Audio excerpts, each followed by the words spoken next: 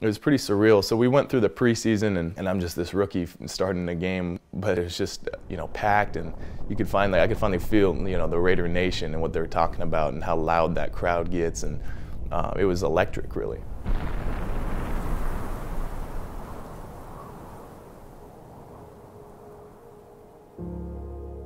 Uh, I first started playing football when I was in fifth grade. My best friend had just started playing. It was the first year of junior Grizzlies. So I went down there and watched one of his practices and thought, man, I, you know, I really want to play football too. That'd be a lot of fun. I went home and I told my mom, like, hey mom, like I, I love this game. Like I want to, is my favorite sport. I want to play in the NFL. And she was like, oh, you know, great, honey.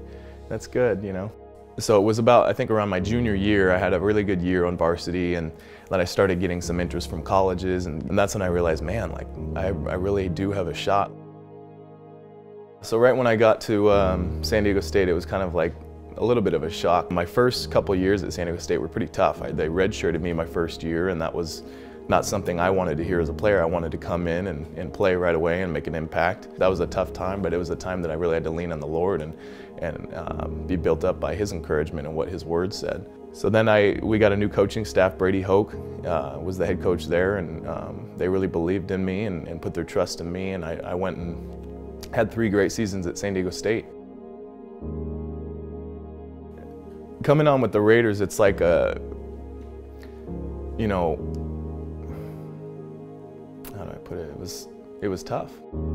You're starting to learn all these things and go to practice and try to put it on the field and all of a sudden you see, oh shoot, my buddy, he just got cut. Oh, my roommate just got cut. Like, you know, this is, this is for real. You know, this is not a lasting thing. The NFL stands for not for long. It was a true testing, but it's been, it was good. And then my, my rookie year, I ended up, you know, unexpectedly really starting the entire season and having a good season. So I always grew up going to church, and the real turning point for me was, well, my best friend growing up was Devin Wiley.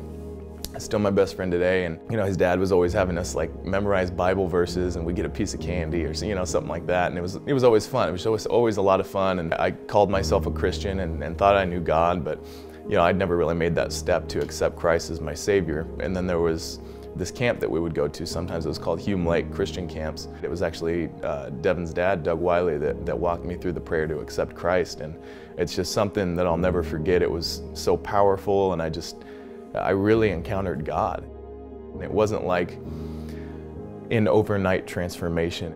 I'm gonna continue to work at everything with all my heart and, and, continue to lean on God at the same time with all my heart. And my father-in-law, something he had told me this before, is uh, pray like it depends on God and, and, work like it depends on you. Everything that's going on in your life, you don't have to carry all the burdens and all your anxieties on yourself. It's not all dependent on you, and I know that firsthand. And my wife knows that firsthand, and, uh, and so many people in my life who I've seen experience the same thing I have. Christ says that his yoke is easy and his burden is light. And he invites you to give him all your cares, your worries, your anxieties, your burdens, everything that's that's plaguing you, everything that's on your shoulders, so to speak.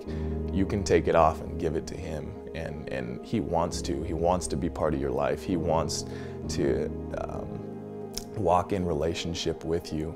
And anything that you're dealing with in this life, you can give to him. And you can experience the same kind of freedom and grace and mercy that I've experienced in my life, and you can encounter God. And that's something I would invite you to check out. My name is Miles Burris, and I play for him.